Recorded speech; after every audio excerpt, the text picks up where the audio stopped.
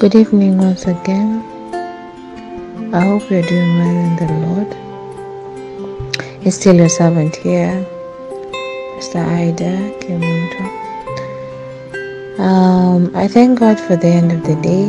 We pray God that He has kept you good and that we have a new evening and facing a new morning.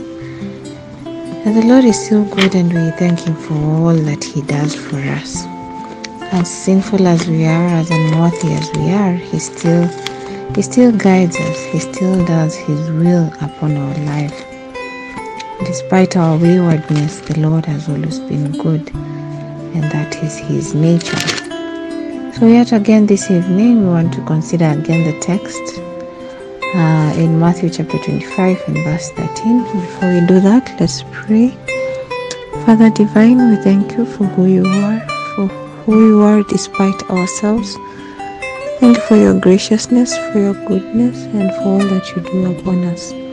Now, while we consider your word, we pray this day that you will empower us with by the Spirit, that we may embrace your word and we may walk according to your will and riches in glory.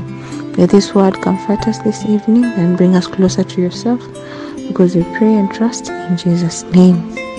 Amen.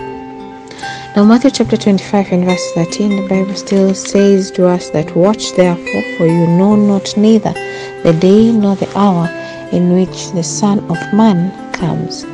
Now, in the morning while we were discussing, we kept saying that the word of the word watch means to keep, to keep, uh, to keep, uh, to keep awake or to be awake, and we delved so much to understand how it means to keep awake or rather to, to be awake because we realize that we're living in uh, not ordinary times and the darkness is all around us.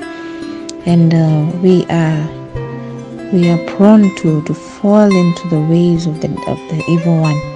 But if we mean to be awake then our eyes should be open and open for to see that the devil is everywhere and he may he may be able to take captive of us if we are not careful.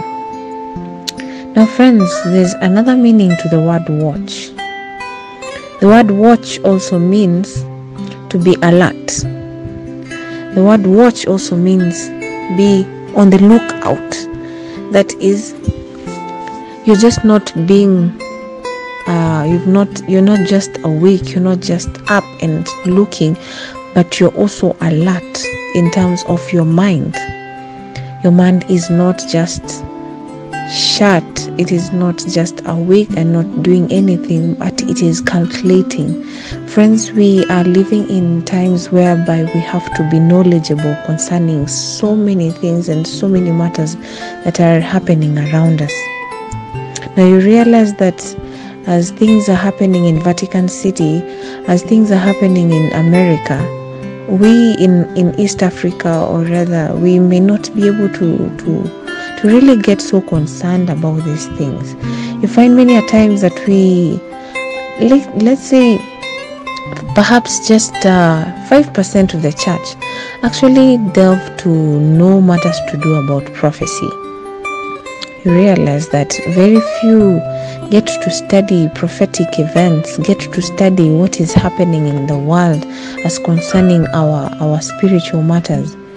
So you realize that it is important that as we are being called upon to be watchful, it is important also to get to know about what is happening in terms of, of Bible prophecy what is happening in Vatican City, what is the Pope saying, because where that is where we are supposed to be looking at, because there is where certain announcements are going to come, and we are supposed to look at what is happening in America, what is happening, because these are the big cities, these are the this these are the prophetic uh, cities that we are told about that are kingdoms that are going to come out and speak certain things that are blasphemous against the God Most High.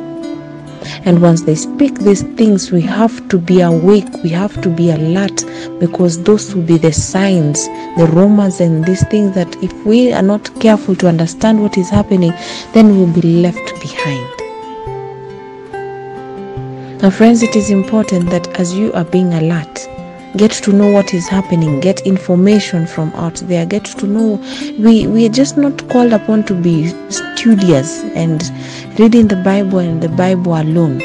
It is important that as we are reading the Bible, we have the the the sword or the shield on our hand on the other hand that is trying to understand what is the information out there getting to know what is happening all around us that we may be knowledgeable concerning the signs and the times that we are living in and what is actually happening out there.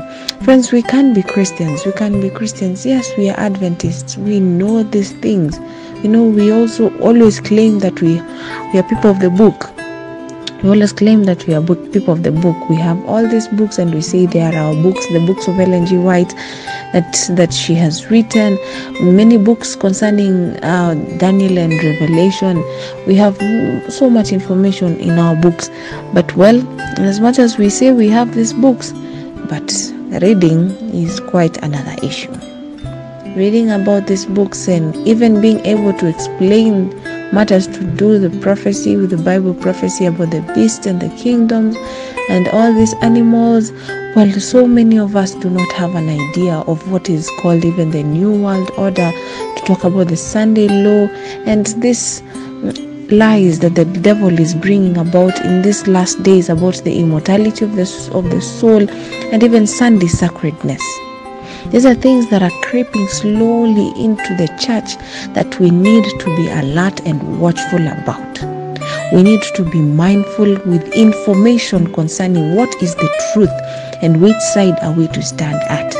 What is, how does the Lord desire for us to understand? That if we understand, then we can be able to counter whatever the devil will bring upon us. Whatever the lies that the devil is going to bring, then we'll be able to stand forth and be able to counter them. Whereas if we are not careful to understand what is the truth, when the when a lie comes, it will quickly sweep us away. When uh, when when Paul says that we have to be mindful and careful on what we believe, so that we may not be swayed here and there with every wind of doctrine that surely comes along our way and tries to convince us outside. We have to stand for the truth. We have to be able to have tested the truth and known what is truth and what is error that we may be able to stand having our loins guarded with the truth and having our breastplates of, of righteousness and our feet shod with the preparedness of the gospel of the truth. Okay, that is in Ephesians chapter 6 and verses 14. We have to understand what is the truth and put our feet on that which is firm that we may not be fallen by any wind of doctrine that easily comes around us. Now, the devil knows that we're not living in ordinary times. If there be a time that he's working quickly and even faster, these are the times. He's working left, right, and center to ensure that we do not get to know the truth. We do not get to know the truth. He's mixing error with truth, having 99% truth and 1% error. It is so hard to know what is error right now it is so difficult to know what is truth right now because everybody comes and says, even on the pulpits, on our own pulpits as Adventists, on our own pulpits, we have those who come and preach the truth. We also have those who come and even preach error upon our pulpits, and many people are being swayed away. I have had so many examples of, of university students who at school because you know and we know that yes as we are in school we are young people and we are we have we have all the energy. God used young people when he was uh, when he was on earth. Christ used young people. Most of it, the disciples that he had were literally above eight uh, below 20 years old. These were very energetic young men and th- th- those were the ones that were easy to to teach and to understand and be able to to guide in the right way. But yet again with our youthfulness then we are again very easy to to beguile and move to the wrong direction in in so many universities i've heard whereby someone comes and preaches a particular gospel and young people believe in it they strongly hold on to it and they are swayed away from the church. I've had so many friends of mine who actually went away from the church and even went and started their own churches with so very strange doctrines and you even wonder so this is also calling us about that we may have, we may be alert, we may be watchful with our minds open to know what is truth, to understand what is error, because we are not living in any ordinary times. Information is so critical for us to understand. Information, we need to understand our Bibles inside out. We need to understand what Christ desires of us from Genesis, even the Revelation, even these apocalyptic books that we're so fearful, we're so fearful about. If you do not, James in James James says that if you do not have wisdom, if you do not have knowledge, ask of who? Ask of God, who giveth so freely and withholds not if you ask of him then he'll be able to give you knowledge so that that knowledge can be able to expand your memory and you'll be able to understand how you ought to live in these last days. But above all i wish that we we may know him. We may know him. In philippians chapter 3 and verses 10 it says that that I may know that I may know him and the power of his resurrection and the fellowship of his suffering, may, being made conform, conformable unto his death. The most important thing above all, being alert, being watchful about these last days, is that we may know our Jesus.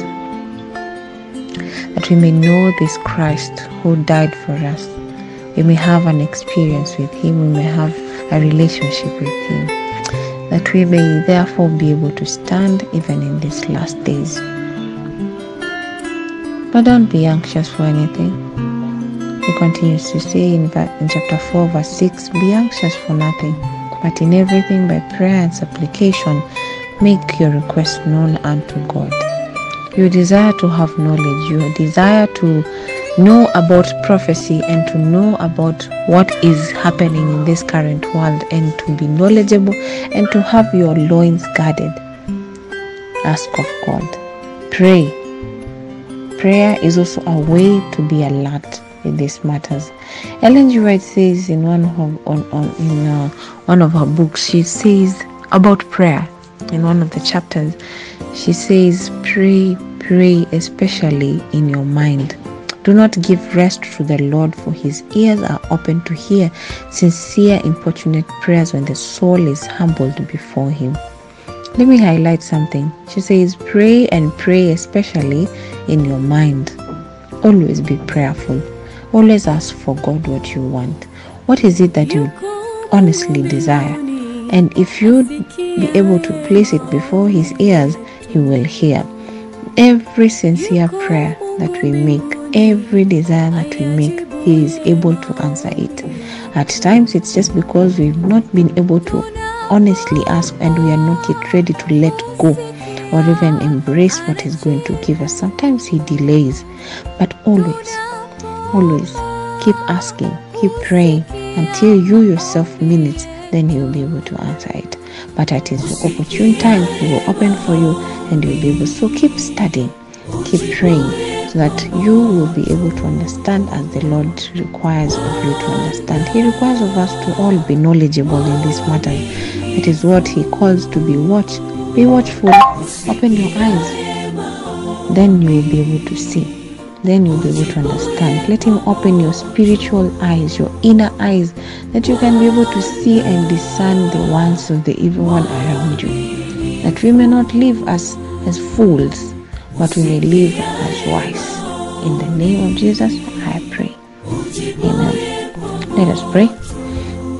Precious Jesus, we thank you for this evening. We thank you for the gift of life. We thank you for all that you have given us. Now bless our going out, bless our coming in. Help us to be watchful and open our eyes, Father, even our spiritual eyes, that we may understand your will and understand what you desire for us. Help us to be watchful, for the days we live in are not ordinary days, but they are days that we need to be fearful and we need to have our loins guarded and watchful, for the devil is roaring like a lion, seeking whom he may devour. We may not be found in the wiles of the evil one, we may not be found trapped in his net, but we will be found standing firm on your word and on the principles that you've given unto us in your word. Blessed be your name this night. Bless us all the days of our life because we pray in Jesus' name.